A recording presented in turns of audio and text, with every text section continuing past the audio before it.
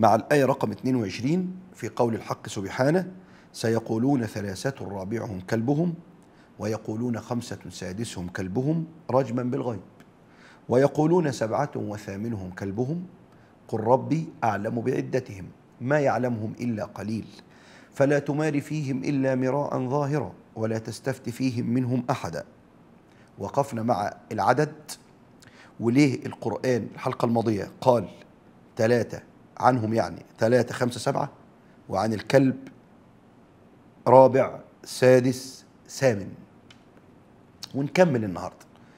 مع ثلاثة رابعهم كلبهم وخمسة سادسهم كلبهم القرآن قال رجما بالغيب.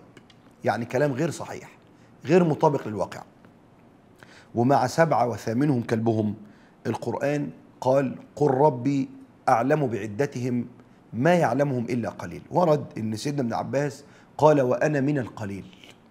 وأنا أعلم أنهم سبعة وثامنهم كلبهم. لكن القرآن قفل الآية ديت بقوله تعالى فلا تماري فيهم لا تجادل المراء أشد من الجدال. يعني ما تفكرش في عاداتهم كام؟ علم لا ينفع وجهل لا يضر. عاداتهم كام؟ أسمائهم إيه؟ ألوانهم إيه؟ إمتى كانوا فين وامتى وقصة كده لو فيها خير ربنا كان ذكرها لو فيها فائدة. إنما القرآن لم يحدد الأشخاص. خلاص يبقى ما لهمش يعني الفايدة من المغزى. لقد كان في قصصهم عبرة. يبقى لا نجادل ولا نناقش ولا نماري في أمر لم يذكره القرآن الكريم. فلا تماري فيهم إلا مراء ظاهرا يعني كلاما واضحا آه يطابق الواقع. ولا نماري في أمر لا يفيدنا في شيء. ده لدرجة إن في ناس وصلوا الكلب اللي مع أهل الكهف كان اسمه إيه؟ ولونه إيه؟ وعنده كام سنة؟ يا عم ما سبحان الله هيفيدنا في إيه؟ لو فيها إفادة لذكرها الله سبحانه وتعالى. طب والكلب بتاع أهل الكهف كان ذكر ولا أنثى؟ وإحنا مالنا طب أهل الكهف كان لونهم إيه؟ عاداتهم إيه؟ كانوا إمتى؟ كانوا فين؟ لا دخل لنا. القصة والعبرة اللي اتكلمنا فيها الحلقة الماضية ويعني وقفنا مع وقفة مهمة جدا فمش عايزين نكرر الكلام. فلا تماري فيهم إلا مراء ظاهرا ولا تستفت فيهم منهم أحد. ولا تستفتي يعني لا تسأل عن أهل الكهف منهم أحدا من السابقين من اليهود والنصارى. لا تسألهم عن أهل الكهف أبدا. لكن في حاجة لفتت نظري برضو هنا. زي ما قلنا في الحلقة الماضية وقلنا. وهنقول دلوقتي إن أهل الكهف واخدين العدد الفردي. ثلاثة خمسة سبعة. والكلب واخد العدد الزوجي. رابعهم سادسهم ثامنهم. لكن مع رابعهم وسادسهم ما جابش الواو. مع ثامنهم قال وثامنهم يعني إيه؟ ثلاثة رابعهم كلبهم. ويقولون خمسة سادسهم كلبهم. رجل ويقولون سبعة وثامنهم كلبهم. فجاب الواو مع ثامنهم. إنما ما جابهاش مع رابعهم ولا سادسهم. بعض أهل العلم قالوا دي اسمها واو الثمانية. يعني إيه واو الثمانية؟ يعني دايما تذكر مع عدد ثمانية. زي إيه؟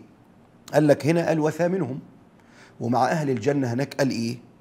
وسيق الذين اتقوا ربهم إلى الجنة زمرا حتى إذا جاءوها وفتحت أبوابها الواو هنا جاءت لأن أبواب الجنة ثمانية.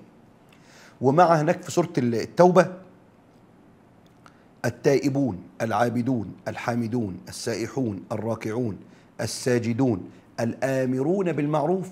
رقم ثمانية اهو والناهون عن المنكر. فجابها مع ثمانية وهناك في سورة التحريم مسلمات مؤمنات قانتات تائبات عابدات سائحات ثيبات ما فيش واو اهو مع رقم ثمانية وأبكارا. ده رأي رأي تاني قال لك لا ما فيش حاجة في اللغة اسمها واو الثمانية أصلا. وده استدلال خاطئ. أمال إيه؟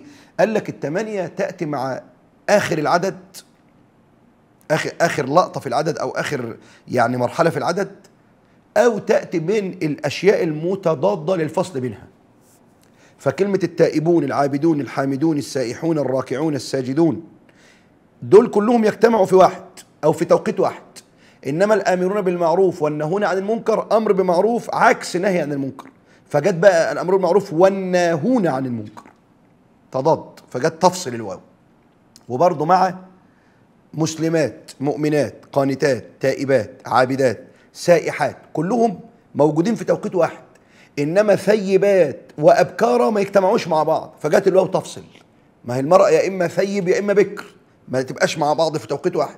فجت ثيبات وابكارا واستدلال أبواب الجنة استدلال غير في غير موضعه فالرأي ده وهو الأرجح وهو الأشهر عند أهل اللغة قال لك ما فيش حاجة في اللغة اسمها واو الثمانية ولكن ده اسمها واو تقفل الجملة أو تقفل المجموعة.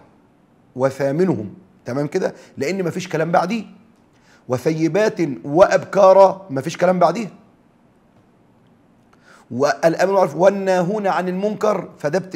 إذا كان فيها بعدها كمان الحافظون حدود الله ديت عامة يعني. فرأي قال لك في واو ثمانيه ورأي قال لا ما فيش واو الثمانية. تمام كده؟ نقرأ بقى الآية كده. اللي وقفنا معاها الحلقة الماضية ووقفنا مع جزء منها في الحلقة دي. سيقولون ثلاثة رابعهم كلبهم ويقولون خمسة سادسهم كلبهم رجما بالغيب. ويقولون سبعة وثامنهم كلبهم قل ربي أعلم بعدتهم ما يعلمهم إلا قليل فلا تمار فيهم إلا مراء ظاهرا ولا تستفت فيهم منهم أحدا. يبقى التفسير يا جماعة محتاج لفتوى. ولا تستفت فيهم منهم أحدا. الآية رقم 23 سورة الكهف. تعالى ولا تقولن لشيء إني فاعل ذلك غدا.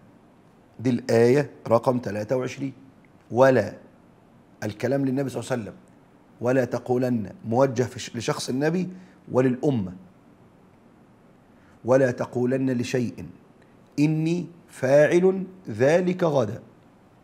والآية اللي بعدها تفسرها وقلنا سبب نزول في الحلقة الأولى في سبب نزول لأن دي الحلقة الثامنة مع مع سورة الكهف والسادسة مع قصة أهل الكهف. قلنا من سبب نزول ال- إن لما سألوا النبي عن قصة أهل الكهف وعن ذي القرنين كلام جميل. فقال سآتيكم بالإجابة غدا ولم يستثني يعني لم يقل إن شاء الله. فانقطع عنه الوحي خمسة عشر يوما. ونزلت هذه الآية عتابا للنبي.